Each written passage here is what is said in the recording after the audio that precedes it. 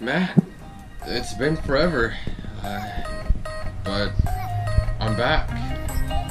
We're on day 16, and today I'm just gonna be taping up the windows so we can paint everything in here.